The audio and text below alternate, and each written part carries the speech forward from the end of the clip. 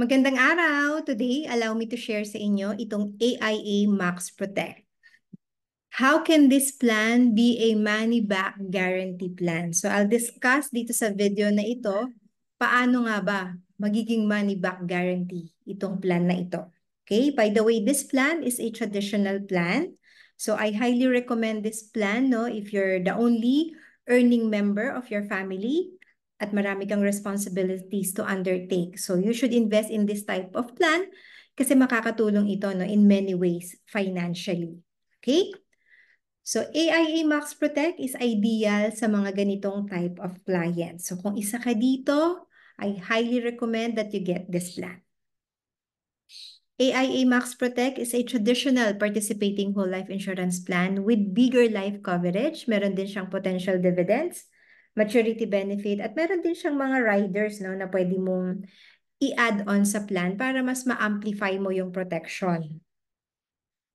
Dito sa video na ito, we will be focusing only the AIA Max Protect for wealth transfer. Okay, so ang aim natin is for legacy planning, estate planning, at saka retirements. So yung benefits that we will be discussing is only the life coverage, yung maturity benefit, at yung potential dividends. So example natin, no, yung insured ay 30 years old female with standard risk, meaning wala siyang mga health conditions.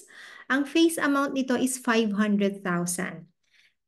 And these are the plan features. Meron siyang life insurance benefit. So kung may mangyari dun sa insured, ang marireceive ng family or ng beneficiary is 1 million. Bakit 1 million? Eh, yung face amount is 500,000. Kasi, yung life insurance benefit niya o yung life coverage niya is 200% nung policy's face amount. Okay? Then, meron nga tayong non-guaranteed dividends.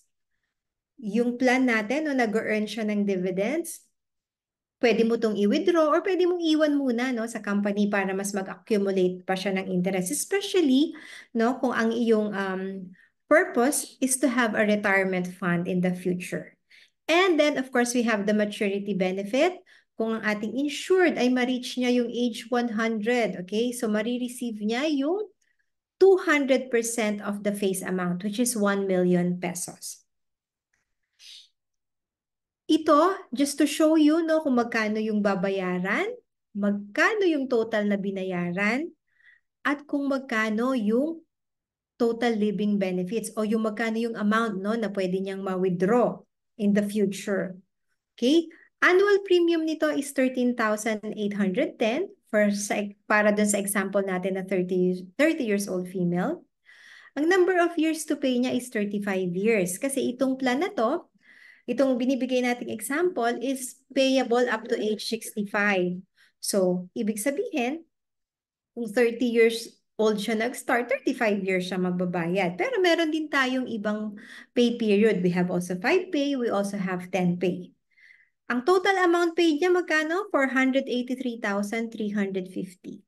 At age 65, ito ipinapakita lang natin, no? Kung magkano yung guaranteed cash value at age 65. Okay, kung hindi natin i-withdraw yan, then definitely tumataas pa rin yung guaranteed cash value. Okay, 446, 130.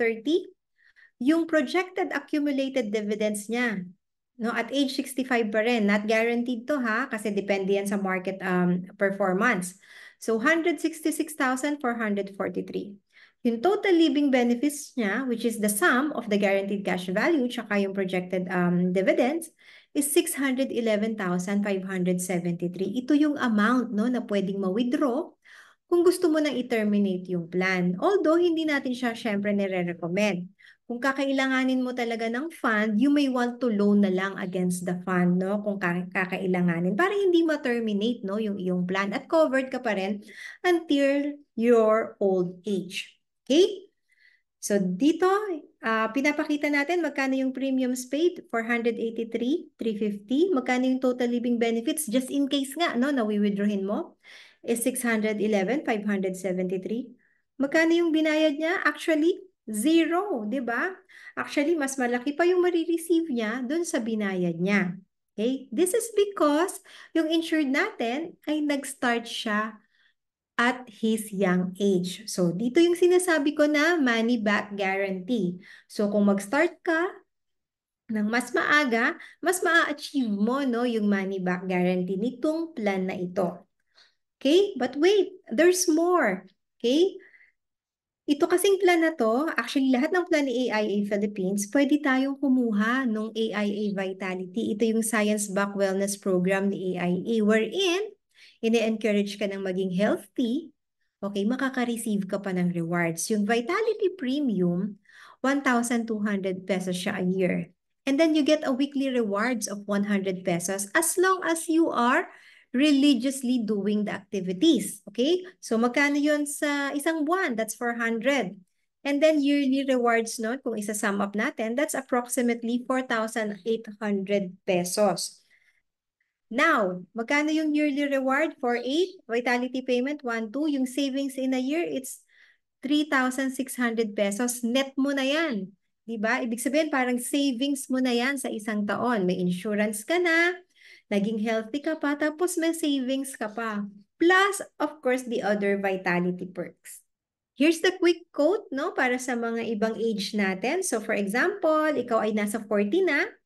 Ito yung annual premium. Ayan yung number of years to pay, yung total premiums paid, yung guaranteed cash value, tapos yung projected uh, accumulated dividends, the total living benefits, kung kakalculate, parang ito lang yung binayad, hindi ba? And then, annually, parang ito lang. So, once again, di ba sabi ko nga, kung nag-start ka kasi ng mas maaga. Okay? By the way, itong pinapakita kong quick quote is purely life insurance coverage. Wala siyang mga riders na tinatawag o yung mga add-on benefits. Kung gusto natin, ito yung mga additional benefits na pwede. AIA Max Protect, Max Protect Your Life. Okay, if you want to achieve that money back guarantee, you start early. Okay, so that would be all. Thank you for watching. I am Cha Castro. Stay safe, stay healthy, and God bless.